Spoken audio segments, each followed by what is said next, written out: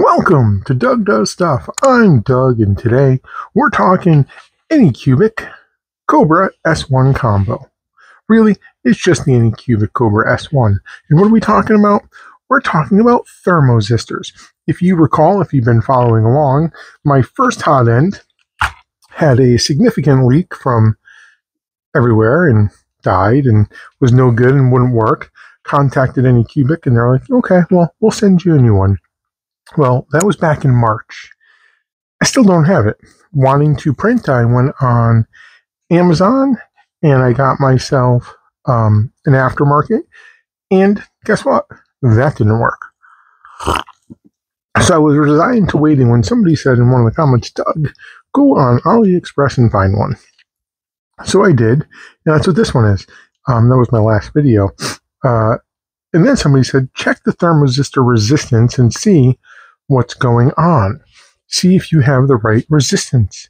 The problem with the aftermarkets, so original, aftermarket, and then the AliExpress, the problem with the aftermarkets is there's not enough resistance to measure temperature correctly. So here we go. Really quick video.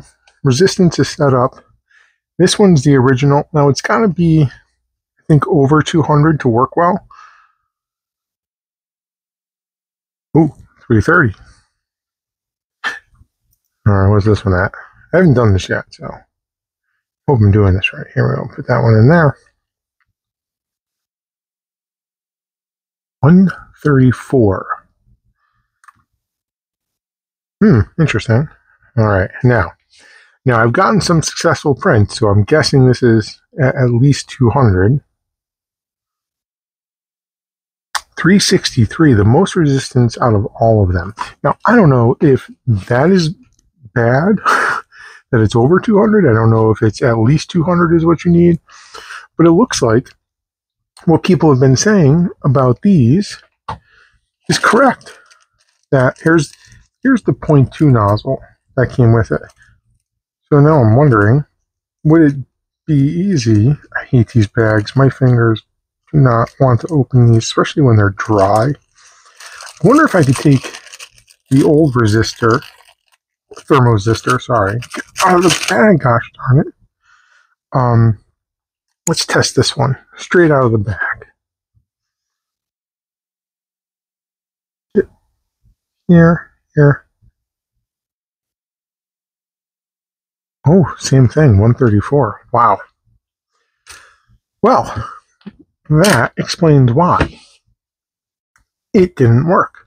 Now, I would say this anytime you get a new one, just test it. It takes two seconds, and you'll see where you're at and see if it's even worth your time putting it in. This one, not worth putting my time. The brand new one that I still haven't used for the 0.2 nozzle, not worth my time. But I wonder if I just take out the heater cartridge and the thermistor and I replace it with the original, that should, in theory, work. I will tell you, getting these out is nigh impossible. You have to heat the crap out of them because they have um, like thermal glue in there. Ugh, what a pain. So anyway, yeah. Well, thanks for watching. Like and subscribe. Leave a comment.